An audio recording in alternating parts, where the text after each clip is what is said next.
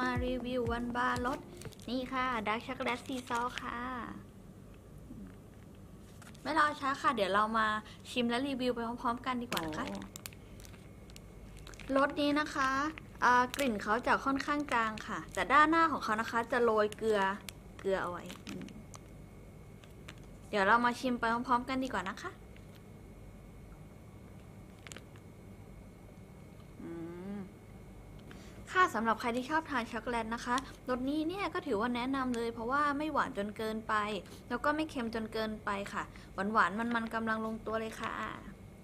สำหรับ dark chocolate sea salt นะคะ รสชาตินี้เนี่ยแคลอรี่เนี่ยจะอยู่ที่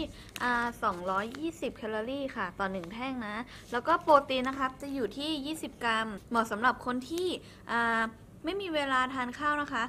protein bar ตัวนี้เนี่ยก็อ่าสามารถแทนข้าวได้หนึ่งมื้อเลยค่ะ เพราะว่ามีสารอาหารที่ครบถ้วนนะคะ ที่จำเป็นต่อร่างกาย แล้วก็นอกจากนี้เนี่ยคนที่ diet เนี่ยแล้วก็ชอบทานช็อกโกแลตนะคะ สามารถอ่าเป็นทางเลือกได้เลยค่ะ ใครสนใจนะคะ สามารถติดต่อเข้ามาในเพจของ ONE Bar Thailand ได้เลยค่ะ ราคาต่อแท่งนะคะจะอยู่ที่ราคา 99 บาทค่ะ หรือใครสนใจเป็นกล่องนะคะก็มีค่ะนี่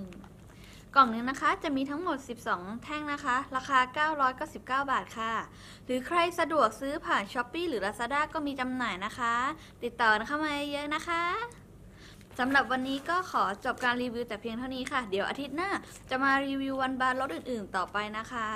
สำหรับวันนี้ก็ขอบคุณค่ะ เจอกันใหม่อาทิตย์หน้านะ บ๊ายบาย